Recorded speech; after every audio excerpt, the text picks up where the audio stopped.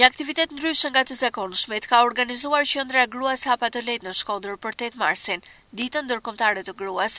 Në rrugën tradicionale të këtij qyteti, siç ajo e Gjuhadolit ekspozoi disa nga punimet dhe aktivitetin që gratë dhe vajzat kryejnë në harkun e një viti, Kjo mënyrë organizimi është si një reagim për të treguar se këto janë më të angazhuarat. Këtë vit kena vendosë me ardhë në një formë tjetër reagimi.